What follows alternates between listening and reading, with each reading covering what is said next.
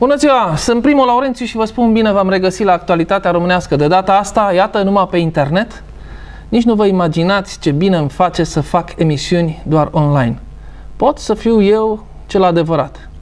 Nu că aș vrea eu să înjur, nu, cred, nu pentru că aș vrea să am un limbaj mai porcos, nu pentru că aș vrea să fiu mai violent în vorbire, ci doar pentru faptul că pot să-mi țin discursul neautocenzurat am ajuns ca în toate emisiunile pe care le țin pentru Nașu TV să mă autocenzurez, curg apele pe mine de concentrare, nu cumva să spun ceva ce s-ar putea interpreta, ar putea deranja, dar mai ales ar da pretext celor din CNA să mă amendeze și, bineînțeles că eu nu pot să plătesc lunar amendă de 40.000 de lei.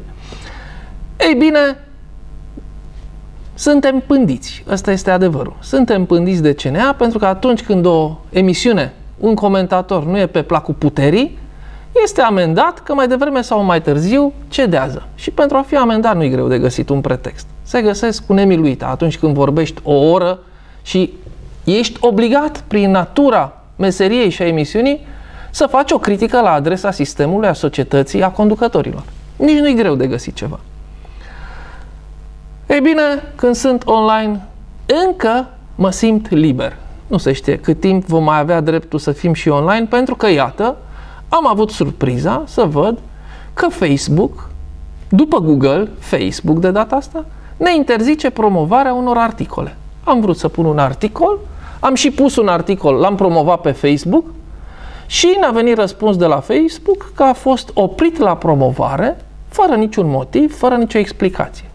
Era un articol antisistem, fără jigniri, fără cuvinte triviale, fără antisemitism, fără nimic. Doar antisistem, atâta tot. Ei bine, Facebook a zis că nu se poate. Adică e liber pe internet, e libertate, dar nu se vorbește contra sistemului. Iar Facebook ce e altceva decât un instrument al păpușarilor de subjugare și aservire a prostimii. Și atunci, bineînțeles, că ei nu o să accepte să se joace în casă la ei un joc împotriva regulilor casei. Și atunci ai de ales. Dacă vrei să fii promovat pe Facebook, ori vorbești pro-sistem, pro-păpușari, pro-conducători, ori dacă nu, nu ești promovat. Ești lăsat acolo într-un colț să stai, dar să nu afle nimeni de tine. Același lucru mi s-a întâmplat și pe Google. Mi s-a oprit campaniile de reclamă pe Google pe motiv că cineva a raportat că meritocrația.ro ar fi site care promovează terorismul. M-am bătut săptămâni la rând să ajung la o persoană, la un factor de decizie din Google, ca să-i spun doar atât, domne, te rog, te rog, intră pe meritocrația.ro și vezi dacă e ceva terorist acolo. Sigur că omul a intrat, a citit și și-a cerut scuze și ne-a repornit campania. Dar rău rămâne. Rău rămâne din urmă. Banii pierduți, timpul, energia. Mai nou, ne cade site-ul în mod regulat. Nu știm de ce, nu înțelegem ce se întâmplă. Fel de fel de emisiuni, fel de fel de articole, au fel de fel de evoluții neașteptate. Dispar, apar, uh, sunt mutate, fără să ne dăm seama, fără să înțelegem ce se întâmplă, cine, ce, de ce. De vreau să vă spun că nu sunt deloc optimist că libertatea de exprimare va mai dura mult timp nici pe internet. Cred că e următorul pas. E clar, televiziunile mass media în totalitate este subordonată, subjugată intereselor păpușărimii. Urmează internetul. Deja și pe internet sunt semne clare de manipulare și de încălcare a libertăților de exprimare. Probabil că în 2-3 ani o să mai putem face doar uh, întâlniri din astea subversive, precum uh, comuniștii între războaie, în ilegalitate, să tipărim afișe prin uh, beciuri și să uh, facem întâlniri conspirative. Probabil că asta ne va rămâne. Mergem înapoi. Un lucru este clar. Ceea ce se întâmplă astăzi în lume nu are nicio legătură cu drepturile omului, cu libertatea de exprimare, de opinie, cu democrația reală. Suntem amăgiți, mințiți, păcăliți că vezi, Doamne, e democrație, e un rahat. Nu e nicio democrație. Este un sistem totalitar, oligarhic, păpușăresc, un sistem cum n-a existat niciodată în istoria omenirii un astfel de sistem de asuprire a omului de către om. Asuprirea a existat mereu. Au fost asupriți și asupritori. Astăzi este o asuprire mai diabolică decât oricând altădată în istoria omenirii, dar este o asuprire de o mărșăvie, de o ticăloșie rară. Un sistem atât de parșiv care îți spune la tot pasul că e libertate, e democrație. Când colo se maschează și se prostește lumea cu aceste cuvinte, când în realitate, dacă stai să județi la rece, nu există nici libertate de exprimare și de opinie și nu există nici democrație în niciun fel. Trec la știrile zilei. Statele Unite studiază posibilitatea acordării unui sprijin militar Ucrainei, solicitat de lideri ucraineni, au anunțat oficiali americani joi. Mergând uh, joi, aceștia negând informațiile potrivit cărora cererea Chievului ar fi fost refuzată de Washington.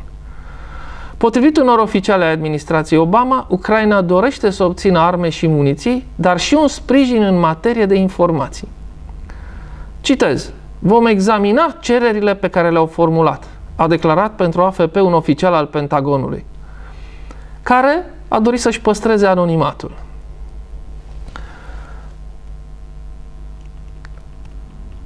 Parlamentul Ucrainei, pe de altă parte, a aprobat joi în unanimitate crearea unei gărzi naționale din care ar putea să facă parte până la 60.000 de persoane, în condițiile în care noua putere ucraineană se teme de pătrunderea armatei ruse pe teritoriul de est al țării.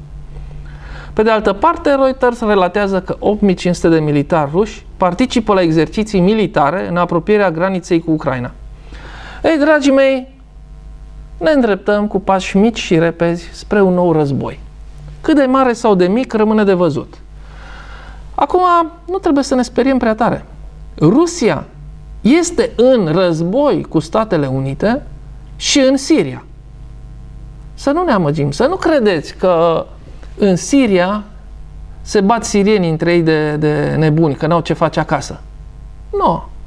Se bat susținătorii lui Bashar al-Assad, adică Rusia, cu tot ceea ce înseamnă armată, armament, susținere financiară și așa mai departe, și se bat cu rebelii, care rebeli sunt, bineînțeles, susținuți și nu neagă și nici măcar nu ascund păpușarii cei ce stăpânesc și conduc America. Nu folosesc termenul de America și Rusia pentru că, și nu voi mai folosi, pentru că în fapt Păpușarii care conduc America și cei ce conduc Rusia n-au nimic în comun cu acele țări. Nu sunt decât niște stăpânitori a, a acelor țări. Atât cei ce conduc Rusia, cât și cei ce conduc America sunt niște ticăloși, niște bandiți, niște jefuitori, niște gangsteri cu gulere albe, care au asuprit, care au îngenunchiat, au subjugat popoarele rus și american și care numele acelor țări, acelor popoare, își permit să facă ce vor dar în primul rând averi pentru ei și pentru clanurile lor. Cum? Prin jaf. Ei bine, în Ucraina se pregătește un nou război între păpușarii ruși și păpușarii americani, la fel ca în Siria. De data asta, ă, miza este mult mai mare decât în Siria. De data asta e posibil ca acest război să nu mai rămână la stadiu de război civil. Sigur că va începe ca și război civil. Chipurile se borbat rusofonii din est cu naționaliștii ucraineni din vest. Așa va începe. Dar iată, naționaliștii ucraineni cer ajutorul Statelor Unite pentru arme, etc. Arme, muniții și sprijin în materie de informații. E, asta înseamnă că Washingtonul, care deja trimite nave de luptă în Marea Neagră, avioane în Polonia, avioane în Norvegia, deja se fac pregătiri, iată, toți încep să adune trupe în jurul Ucrainei. Rușii la granița lor cu Ucraina, iar americanii aduc la granița de vest a Ucrainei. Pentru noi nu este bine deloc. Pe mine, vă spun drept, mă doare fix în spate de Ucraina și că o să fie război acolo și ce o să facă. Ucraina este un, o țară ostilă României, un popor ostil românilor, este o țară neprietenă României. Eu nu mor de grija ucrainenilor deloc.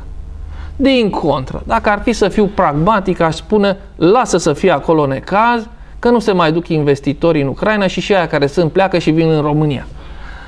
Nu sunt eu chiar atât de, de, de ticălos încât să mă bucur de războiul dintr-o țară vecină ca să avem noi. Pentru mine, din punctul meu de vedere, eu care nu sunt nici pro-rus, nici pro-american, nici pro-ucrainean, ci doar pro-român, vă spun că pentru mine cel mai bine ar fi să fie pace, să-și vadă toți de ale lor și dacă noi românii am putea să ne situăm la mijlocul intereselor păpușarilor din est cu aia din vest și să reușim să mergem pe sârmă, astfel încât să nu ne jefuiască nici unii, nici alții ar fi ideea.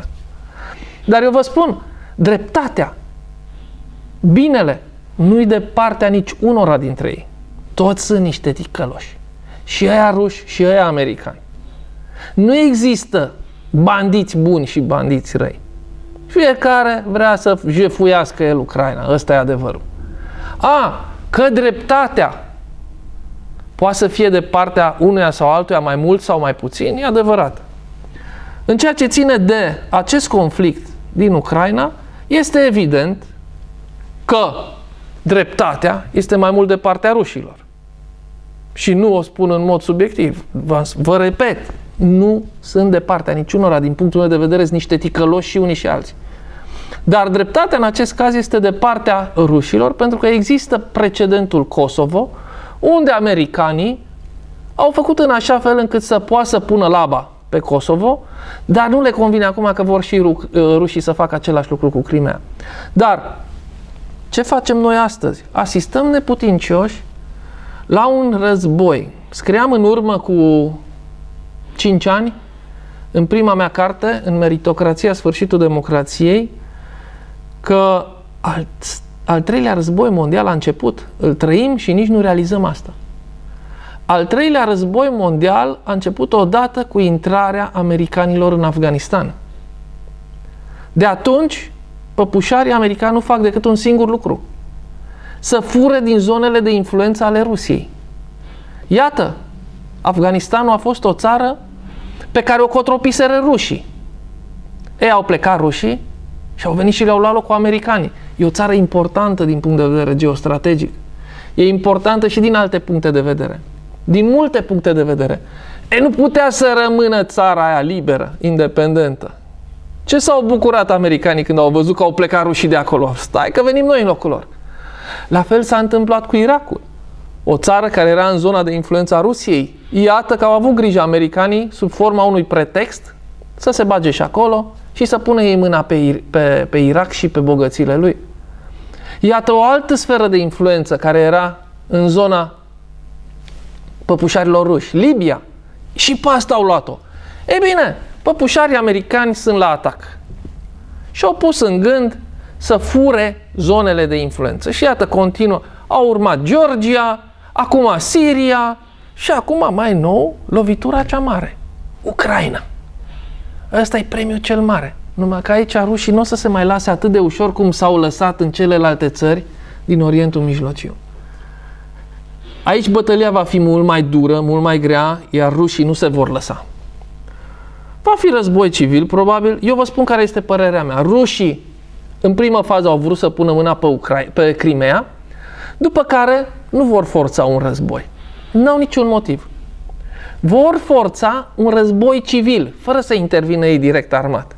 Îi vor sprijini pe separatiștii din estul Ucrainei împotriva celorlalți din vest și vor forța ca țara aceasta să se dividă, să se rupă într-un război civil. Acum, cât de lung va fi războiul ăsta civil, est-vest în Ucraina, depinde de înțelegerile la care vor ajunge susținătorii celor două tabere. Adică păpușarii din vest pentru vestul Ucrainei și păpușarii din est pentru estul. Ăștia se vor împușca, se vor omorâ între ei ucrainenii ca proștii, precum sirienii, iar cei ce vor se vor bucura și vor profita de chestia asta vor fi aia, gangsterii. Asta se întâmplă de mii de ani în lume. Numai s-au schimbat actorii, dar jocul a rămas același. Eu sper ca România să se țină deoparte și sper ca conducătorii români să aibă înțelepciunea de a înțelege că noi românii trebuie să rămânem neutri. Noi românii nu avem forță să ne punem să provocăm nici pe aia din est, nici pe aia din vest. Noi trebuie să mergem pe sârmă, știți?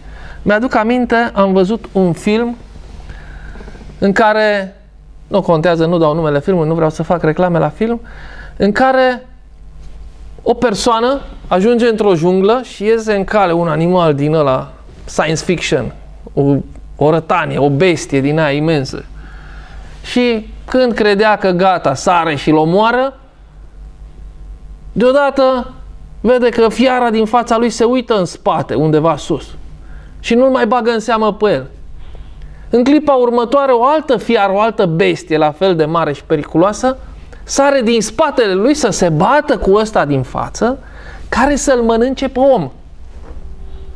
Adică nu mai aveau treabă cu omul, ci vreau să se bată între ele, bestile, cui să aparțină prada. Omul a profitat de ocazie, că s-au încăierat ăștia doi, și s-a ascuns, a tăiat-o. E, cam așa suntem și noi în situația asta acum. Ar trebui să profităm de ocazie, să-i, lă, să-i lăsăm pe ăștia doi, pe bestiile astea, să se bată și noi să ne vedem de treabă, să ne dăm la fund. Să ne bucurăm, să fim la mijloc, adică să ne vrea și unii și alții și nici unii să nu cedeze și în felul ăsta noi să rămânem neutri. Ăsta este singurul joc pe care îl putem face. Stând de partea uh, păpușarilor ăștia cu gaz, cu Romga, cu ăstea, cu Chevron și cu Exxon și cu OMV, nu facem decât să fim jefuiți și în 10-20 de ani să dispărem ca țară. Pe de altă parte, să ne dăm cu oilalți, nu o să ne mai jefuiască Chevronul, o să ne, ne jefuiască Gazpromul și tot aia e.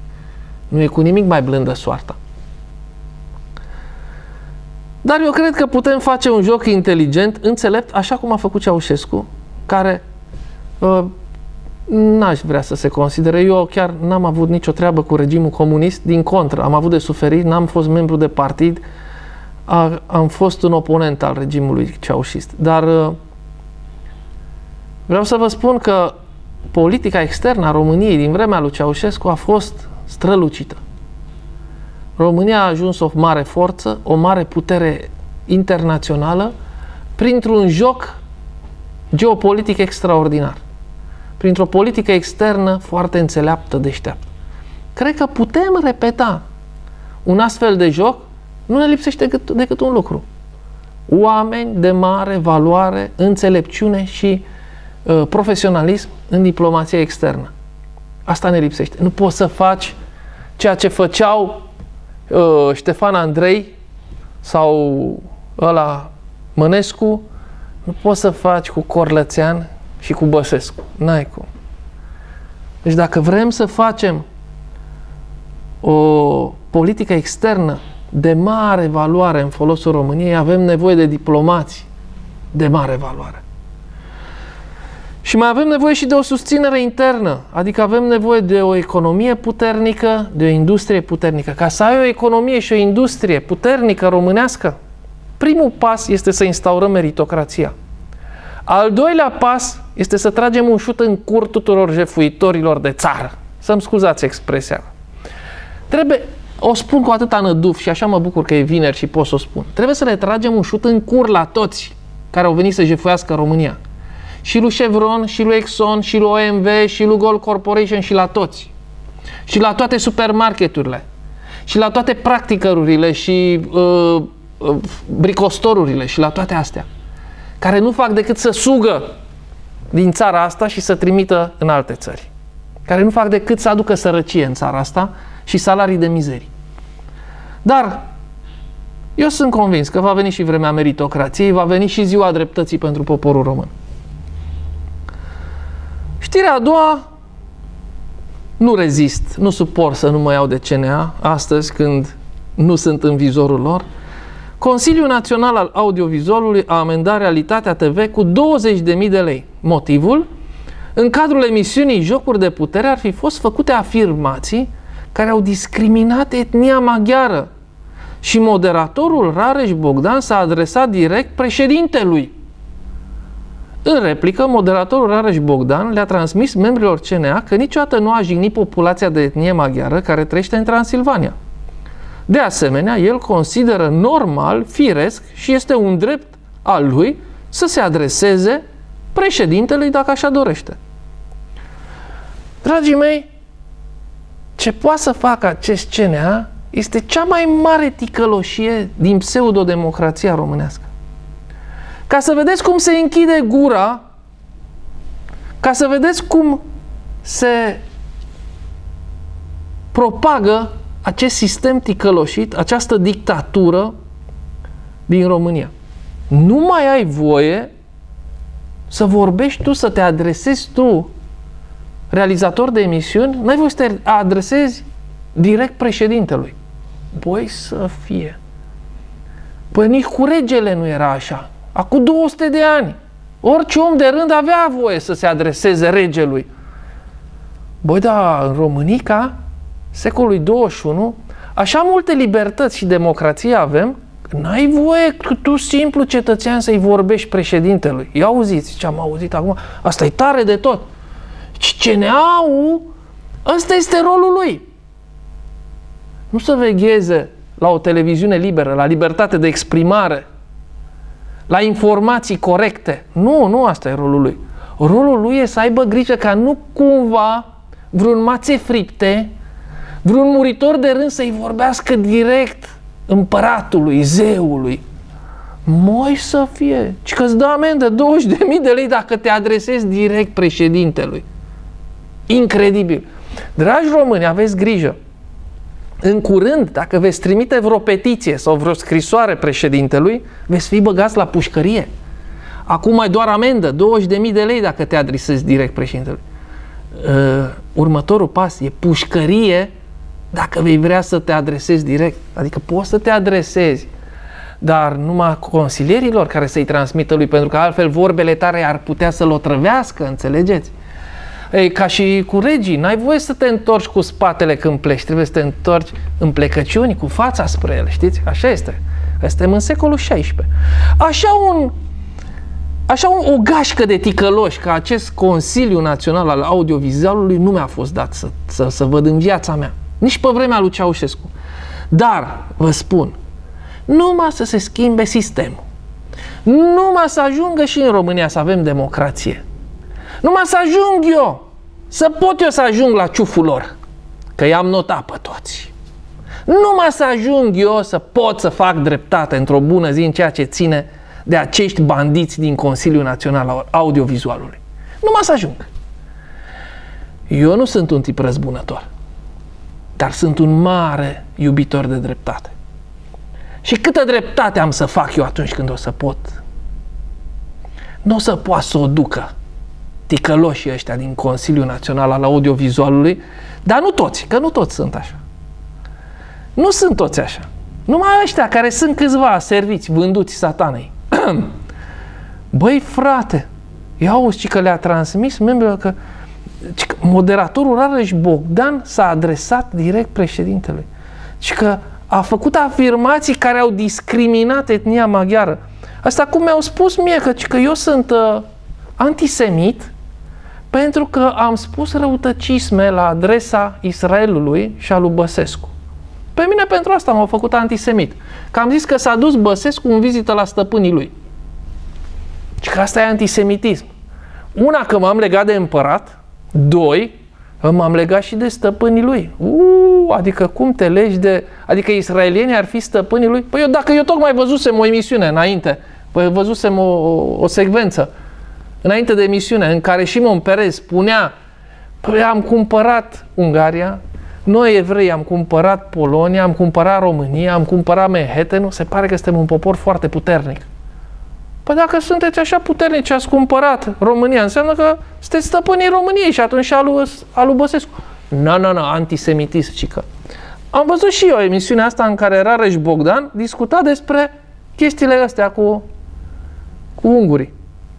Băi, era o emisiune relativ critică la adresa UDMR-ului și a celor ce chipurile uh, luptă pentru drepturile săcuilor. Păi era o emisiune critică. Critică, într-adevăr, la adresa lor. Băi, frate, dar nu mai ai voie să critici. Trebuie să primești 20.000 de lei amendă că ai criticat. Păi unde am ajuns, fraților? Păi ce vor să facem numai emisiuni de laudă la adresa lor a tuturor? Dacă spui ceva critic, ajungi să plătești amendă. Păi unde mai e libertatea de exprimare dacă n-ai voie să critici? Este o ticăloșie. Trebuie neapărat, trebuie să facem ceva cât mai repede ca acest CNA să dispară. Iar ei, cei din CNA, care au fost cozi de topor, nu toți, repet, că nu toți sunt, cei ce au fost cozi de topor să plătească, să intre în pușcării până la sfârșitul zilelor lor, acolo să stea, pentru că sunt toxici pentru acest popor, sunt otrăvitori, sunt niște otrăvuri. În frunte, în, în frunte cu această Laura Georgescu, care, credeți-mă, n-aș fi crezut că poate să zacă așa ceva într-o femeie. N-aș fi crezut. Este inimaginabil câtă ură, câtă răutate, câtă, cât dispreț pentru valorile libertății și democrației are această femeie în ea, care chipurile se dă că ar fi fost din asta, pe la Europa Liberă, pe la BBC, pe la nu știu ce. Dumnezeule! E ceva... Este răul suprem din această țară, acest CNA. Credeți-mă, nu consider că ar fi atât de rău și periculos pentru țară Ponta și Băsescu cum este acest CNA. Dar se va face dreptate. Se va face dreptate cu siguranță și nu e mult până la ziua dreptății. Ce este trist că aceste parașute, aceste panorame nu realizează că mai devreme sau mai târziu roata se învârte și ajung să dea socoteală. Cât de inconștienți sunt. Cât de mult se pun pe ei și familiile lor în pericol fără să se gândească, stai bă, stai bă că nu se știe mâine, că și Ceaușescu azi era pe val și bulea pe tot și după trei zile era în fața plutonului de execuție. Ăștia nu se gândesc, sunt inconștienți. Și Turoș, și Laura Georgescu, și ceilalți aserviți ai lor, ai PSD-ului, nu reușesc să se gândească să, să, să... Atât sunt de slugarnici față de stăpânilor, încât nu reușesc să discearnă binele de rău, nu reușesc să se gândească, stai bă, că eu îmi periclitez tot viitorul din slugarnicie față de stăpânii ăștia politici. Asta e vor plăti cu siguranță. Pentru că rău pe care îl fac, nu îl fac numai lui Rareș Bogdan, nu îl fac numai mie, îl fac întregii societăți omenești, îl fac întregii societăți românești, poporului român. Este o încălcare flagrantă a drepturilor omului, astăzi în secolul 21, ceea ce fac ei. Ei nici nu mai realizează, atât sunt de aroganți, Atât sunt de obrajnici. Mă uit și în procese verbale, și ăla în care m-au judecat pe mine și ăla în care l-au judecat pe Rareș Bogdan. Atât sunt de aroganți, de obraznici. Ei se cred niște semizei. Ei sunt deasupra noastră, ei sunt intangibili. Nu lasă că o să vedeți voi ce intangibili sunteți în curând. Nu lasă că o să vedeți voi ce semizei sunteți. Când o cădea puterea, când o ți ajunge la mâna poporului, atunci să vedeți ce intangibili sunteți, că vă găsim și în gaură de șarpe. Ei bine, după două zile de scandal cu Victor Ponta, președintele Traian Băsescu a anunțat, joi seară, că a promulgat legea de aprobare a ordonanței de urgență privind certificatele verzi, menționând ironic că așteaptă acum cu nerăbdare scăderea prețurilor la energie electrică. Schema totală prin care România sprijină producerea de electricitate din surse regenerabile este de 10 miliarde de euro. Tocmai această schemă generoasă a generat două efecte perverse. În primul rând, prețul energiei a scăzut datorită stimulentelor, ceea ce a impulsionat exportul de electricitate mai ieftină în Ungaria, Bulgaria și Serbia, unde tarifele sunt mult mai mari. Astfel, fiecare român subvenționează din propriul buzunar statele importatoare. În al doilea rând, doar o treime din sumele alocate verzilor rămân în economia României, restul fiind exportați prin achiziția de turbine eoliene sau panouri solare din străinătate. De asemenea, nici opera, operarea lor nu creează multe locuri de muncă. Creează însă mari probleme în sistemul energetic național atunci când vântul nu bate sau cerul este acoperit de nori, deoarece producția trebuie compensată rapid din alte surse convenționale. De altfel, fix sectorul termo bazat pe cărbune a susținut sistemul energetic și atunci când a fost secetă și hidroelectrica a declanșat clauza de forță majoră, dar și lunile trecute când din cauza frigului și a ninsorilor a crescut puternic consumul de electricitate.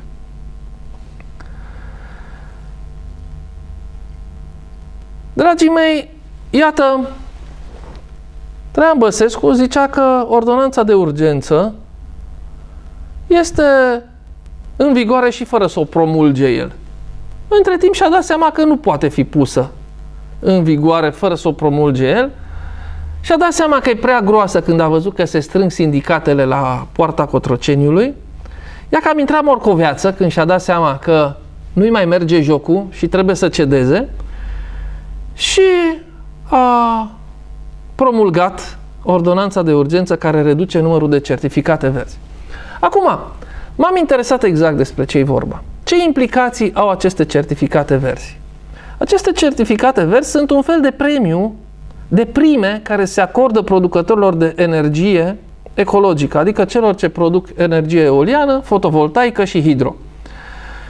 Ei bine, în Europa, cuantumul pe fiecare mega, megawatt al uh, subvențiilor este în România cel mai mare, de 224% pentru eolian, comparativ cu o medie europeană de 100%. La celelalte e mai mare, 657% la energie solară. Datorită acestor subvenții, sigur că da, s-au înghesuit investitorii străini, așa cum le place lui Ponta și Băsescu. S-au înghesuit investitorii străini. Ce au făcut investitorii străini? Au venit, au dat șpăgile necesare pentru aprobări, imense. Șpăgile vreau să vă spun că sunt în jurul milioanelor de euro, bani care se recuperează după aia din certificatele astea verzi pe care le plătim noi, poporul, noi românii. Ei bine, au construit parcuri eoliene, parcuri fotovoltaice, au pus hidrocentrale pe unde au putut, cum au putut. Și acum scot bani. Vreau să vă zic că investiția nu e bună. E fantastică. Investițiile acestea în parcuri eoliene, eoliene la un quantum al certificatelor verzi, cum a fost până acum, se amortizau în 2-3 ani, după care nu mai curgeau banii profit la greu. Ei bine, ce efect aveau aceste? În primul rând că noi toți românii plăteam exact cu 11% mai mult la factura de curent. Noi românii puneam mână de la mână și dădeam cadou investitorilor străini. Deci spune bine, dar de ce? Păi de aia, că așa vrea Băsescu. Pentru că există niște acorduri europene care spun că toate țările din Uniunea Europeană, membre ale Uniunii Europene, trebuie să ajungă până prin anul 2030 la un minim de parcă 40% uh, energie ecologică din total. Da, da, problema este că România are deja vreo 30% din energia totală ecologică.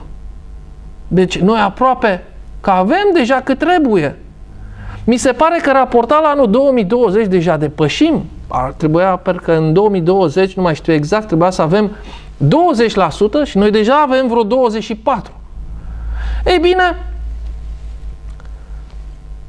ce aduc aceste investiții? Deci, rău am văzut ce aduc factura de curent electric mai mare pentru noi, factura de curent electric mai mare pentru toată industria românească și din cauza faptului că energia electrică costă mult mai mult decât normal din cauza acestor certificate verzi, toate uh, obiectivele industriale, strategice, mari, mari consumatoare de energie, au probleme uriașe. Pentru că costurile sunt foarte mari, date fiind aceste certificate verzi. Din cauza acestor costuri foarte mari, devin necompetitive pe plan internațional.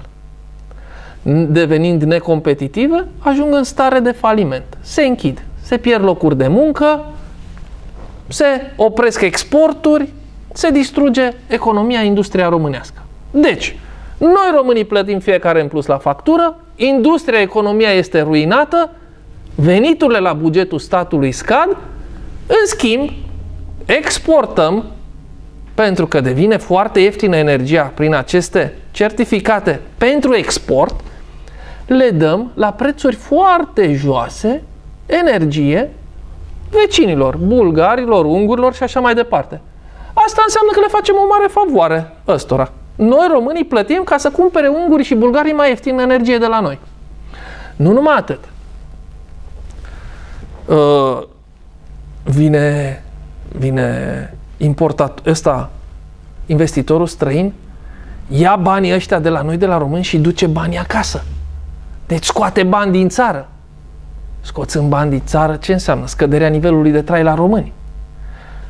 Vine și zice domnul Băsescu că investitorii străini, e foarte important, da? investitorii străini vin, bagă 100 de milioane în România și în 5 ani scot 200 din România.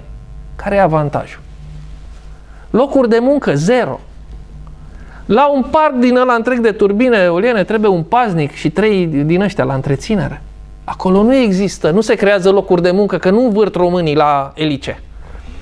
Deci, nu locuri de muncă, investițiile sunt toxice pentru că vin la început ceva, dar nici alea nu sunt investiții. Stați să fim realiști, că nici alea nu sunt investiții. Că turbinele eoliene nu se fac în România, se importă. Deci, investiția este doar pe hârtie. Pentru că, în realitate, banii sunt investiții în industriile din alte țări care produc turbinele eoliene. Noi românii nu producem turbine eoliene.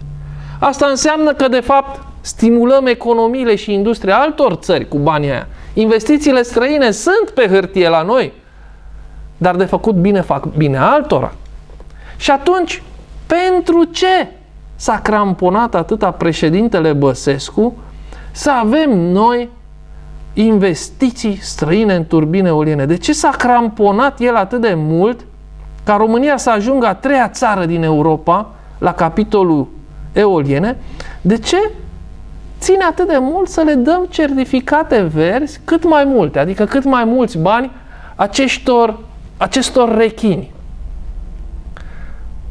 Am tot stat și m-am gândit.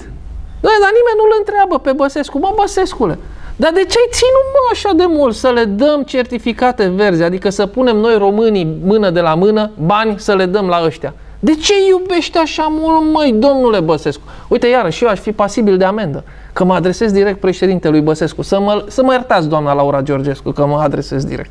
Am uitat că nu-i voie. Deci de ce oare președintele Băsescu ține atât de mult să îmbogățim noi pe ăștia cu centralele eoliene? Nu știu de ce. Cu siguranță domnul Băsescu știe de ce. Știe el prea bine că nu face el nimic dezinteresat, sunt convins de asta.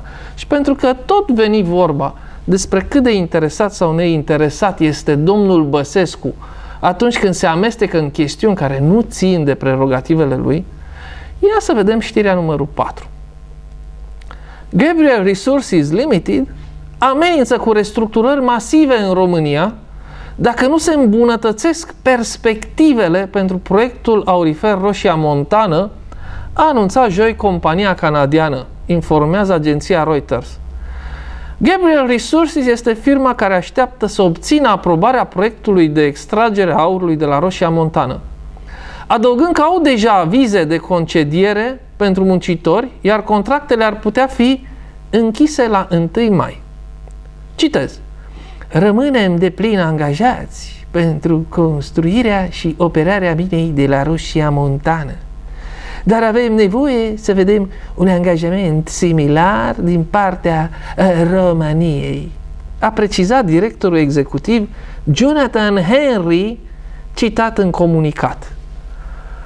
Păi Jonathan Henry, care acum nu de mult spunea că până acum au investit 550 de milioane de dolari în România, domnul Jonathan Henry este foarte supărat că a dat atâția bani șpagă a dat sute de milioane de dolari șpagă în 20 de ani și uite că încă tot nu are avizele și nu poate să înceapă jaful. Și Și s-a dus în vizită la Trăinel. E supărat. Păi nu se poate. Dar în vizită la Trenel s-a dus nu numai ei, s-au dus și cei de la Chevron, care și ei sunt supărați, că pungeștenii nu se lasă. Nu se lasă. Nu și nu și nu și nu. Au încercat în toate felurile. Băsescu le-a zis, mai încercați să vorbiți cu oamenii. Încercați să-i convingeți. Ăștia de la Chevron ori sunt proști și nu înțeleg cum să-i convingă pe oameni, ori oamenii ăia nu s-au lăsat convinși. Ori pungeștenii au zis pas la convingeri, ori ăștia de la Chevron sunt chiar proști. Nu-și dau seama că unde e vorba de jefuit, sute de miliarde de dolari, ce mai contează un pic de convingere la pungeșteni? Ce mai aia? E mărunțiși. Păi numai cât să intri la Băsescu în audiență a costat mult mai mult decât să... Bă, era mai simplu, banii aia îi dădeai pe, la Pungeșteni să-și cumpere televizoare color. Mă rog, deci, dragii mei, Traian Băsescu, marele apărător al investitorilor străini, uh, iată, i-a primit ieri și pe cei de la Chevron, și pe cei de la Exxon, și cred că și pe cei de la OMV, mari investitori din România mari aducători de bogății în România. Vreau să vă spun că peste tot unde au fost ăștia, Chevron, Exxon, OMV, uh, Newmont și așa mai departe, peste tot unde s-au dus și au investit ei, țările alea au fost distruse ecologic și jefuite și gradul de sărăcie a crescut de la momentul în care au intrat în țările alea până au ieșit. Deci ăștia n-aduc decât sărăcie. Ăștia sunt ca termitele care pe unde trec rad tot. Chelesc tot. Ei bine, trăienel al nostru e foarte, foarte pus pe prietenia cu ei. Nu poate el nici cum să înțeleagă că ăștia sunt toxici pentru România. Acum eu nu știu dacă el înțelege sau nu înțelege, dar iată că e greu, pentru că Traian de 3-4 ani se chinuie să ne convingă ce bun ar fi să exploateze Gabriel Resources aurul de la Roșia Montană și românii se cam opun. Înțelegeți? Și politicienii, așa ticăloși cum sunt ei în mare majoritate, trădători nu sunt în mare majoritate. Ei sunt bandiți, dar nu și trădători cei mai mulți. De a și căzut guvernul lui Mihai Răzvan Ungureanu. Ei bine, dragii mei, iată ăștia, Jonathan, Jonathan, Jonathan, Henry, s-a săturat. Cât a așteptat, a avut răbdare destulă, s-a nervat și dă afară pe toți minerii pe care i-a angajase deja. 400 din 500 de mineri îi dă afară. Bă, a dracu minerit, că mineritul acolo înseamnă să pui bomba, dinamita, să sară în aer și cu excavatoarele să-l bagi în camion. Nu știu ce minereau ăștia pe acolo, în mod sigur erau din ăștia femei de servici, uh, șoferi, macaragii, excavatoriști, buldozeriști. Dar ce ne facem noi, România, dacă Jonathan dă afară 400 de oameni? Vă dați seama ce dramă va fi? Vă dați seama? Mult mai bine era să distrugem cu cianur toți apusenii. Mult mai bine era să ne jefuiască ei mii de miliarde de dolari decât să dai afară 400 de oameni. Păi eu vă fac o simplă socoteală. Dacă la 400 de oameni le dai lunar ajutor social, ajutor social, 2000 de lei pe lună, cât ar fi dat salariu, în mod sigur, 2000 de lei nu le dădea salariu în mediu la ăștia 400, dar să zicem 2000. Dar să zicem 2500. La 400 de oameni să le dai 2500, de lei pe lună ar însemna 2500 de lei ar fi cam 500 de euro, ori 400 de oameni, 20.000 de euro pe lună. Da? 500 ori 400, atâta este. Nu, e 200.000 de euro pe lună. Da. 200 de euro, 200.000 de euro pe lună. Într-un an ar fi 2 milioane de euro, 2 milioane jumate, să zicem rotund. Deci, în 20 de ani ar fi 50 de milioane de euro. Deci vrea să ne zică Traian Băsescu că decât să le dăm noi la ăștia, să-i susținem pe moții din Apuseni cu 50 de milioane de euro în 20 de ani, mai bine facem cadou lui Gabriel Resources miliarde și miliarde de euro. Că până la urmă asta e miza. Zice Traian Băsescu că de aia trebuie să-i ținem pe ăștia acolo, pe bandiții ăștia, să le dăm munții din Apuseni, pentru că dau de lucru la 400 de oameni, adică 50 de milioane de dolari sau de euro. 50 de milioane de euro în 20 de ani. Păi, dragă domnule Traian Băsescu, păi merită să dai bogății în valoare de mii de miliarde pentru 50 de milioane? Unde e businessmenul din tine, domnule Băsescu? Că acum mă enervez și te întreb, cum ai făcut dumneata avere imensă dacă ești așa businessman prost? Că dacă ai fi fost un om sărac, aș fi zis, bă, nu se pricepe la afaceri trainer. De aia ne zice nouă că trebuie să stimulăm investitorii străini, că dau locuri de muncă. Dar dacă facem o simplă socoteală, din locurile alea de muncă, nu scoți mai nimic. Pe lângă cât pierzi, exploatând tu aurul ăla și metalele rare. Că altă cauză pentru care se luptă Traian Băsescu acolo nu văd. Că acolo nu-i vorba de independență energetică. Ar băga-o el și pe asta, dar își dă seama probabil că e prea, prea de tot. Eh, deci pentru 50 de milioane de euro care ar fi beneficii în 50 de ani, să facem cadou 6.000 de miliarde. Atâta sunt estimate minereurile de la noi românii, că nu e bine să le nu, nu e bine să le exploatăm noi. Nu, nu, nu. Și Muguri Sărescu e de acord că nu, nu, nu, nu noi, alții, alții, alții trebuie să fie. Jonathan trebuie să fie la care să le exploateze. Nu, nu. El, Muguri Sărescu, în schimb, a avut grijă ca România să nu mai poată să facă exploatări miniere, ea. Pentru că a cedat drepturile de a poansona aurul. Adică noi, românii, avem aur, dar nu avem voie să ni-l extragem singuri. Asta a făcut Muguri Sărescu cu mânuța lui. A zis că așa e bine. E prea avem noi aur mult și ia să facem noi cumva să nu trebuiască să le extragem noi, ci să le extragă păpușarii. Păi și cum o facem gurele, tată? Lasă bă că fac eu cumva să nu mai avem noi dreptul, noi românii, să ne scoatem aurul nostru. Și a rezolvat-o.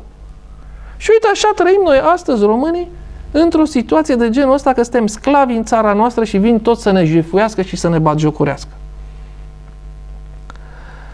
Dragii mei, mai aveam încă o știre. O spun și pe asta. Grupul italian Enel, distribuitor și furnizor de energie electrică în Banat, Dobrogea și Muntenia, inclusiv în zona capitale, a înregistrat anul trecut un profit operațional de 289 de milioane de euro în România, în urcare cu 25% datorită veniturilor mari generate de creșterea prețurilor la energie. Deci prețul la energie electrică a crescut cam cu 5%, dar nu a crescut din cauza că ar fi avut o bază reală. A crescut ca să câștige ăștia care au privatizat electrica să câștige mai mult. Deci, voi românii ați plătit mai mult la energie în 2013 decât în 2012 ca să le crească lor uh, profitul. Păi asta nu e în regulă într-un sistem economic neconcurențial. Când ai monopol, nu poți să crești prețurile în felul ăsta doar ca să-ți crească ție profitul. Asta se numește ticăloșie și înseamnă că ce face oficiul concurenței, ce face protecția consumatorilor, cum le permite să ne crească nouă prețurile în condițiile în care au un monopol doar ca să-și mărească ei profitul. Enel a cumpărat de la stat în 2005 companiile de distribuție și furnizarea electricității, Electrica Banat și Electrica Dobrogea. În 2008, compania a preluat și Electrica Muntenia Sud, care alimentează cu energie Bucureștiul. Grupul are 2,6 milioane de clienți în România. România s-a obligat față de Comisia Europeană și FMI să renunțe la prețurile reglementate la electricitate până la finele anului 2017. Ei, dragii mei, ia uite cu ce se ocupă FMI și Comisia Europeană. Adică să nu mai punem frână la prețul de energie, să-i lăsăm pe păpușari să facă prețurile la energie cât vor ei. Deci nu să mai crească cu doar 5% ca să facă profit doar 300 de milioane de euro. Nu, să lăsăm să pună cât vor ei prețul. cui nu-i convine dintre români să se debranșeze de la electrica. Adică să treacă la opaiți. A? Iată cu ce se ocupă FMI și Comisia Europeană.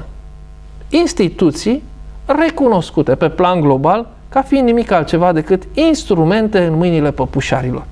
Deci ei păpușarii dețin corporațiile NLU, par exemplu, și tot ei corporațiile, prin FMI, vin și obligă statul român, zice, bă, ai vrut credit, ți-am dat credit, dar acum fii atent.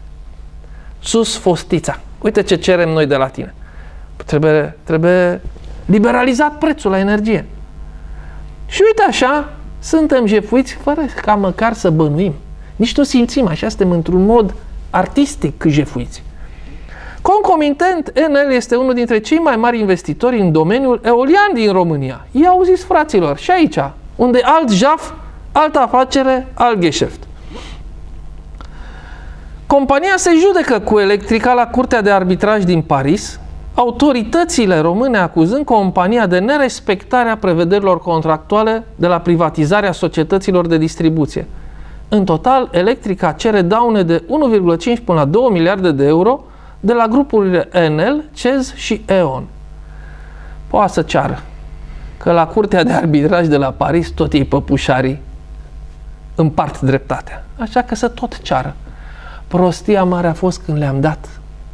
Prostia mare a fost când i-am lăsat să vină pe toți bandiții să ne jefuiască. Acum, acum când ai 100 de miliarde credit la ei, la Banca Mondială, la FMI, când ai la băncile lor ale păpușarilor 100 de miliarde de euro uh, credite, datorii, ești terminat. A trebuit să le dai și electrica, să le dai și petrolul, să le dai și distribuția de gaze, să le dai și cei sub pământ și cei deasupra pământului și trebuie să le dai tot acum. Aici ne-au adus bandiții ticăloși de politicieni. Acest sistem ticălos organizat pe bază de mafie, aceste partide care nu sunt altceva decât grupuri infracționale organizate într-o distrugerea și jefuirea României. Cu Dumnezeu înainte. La revedere!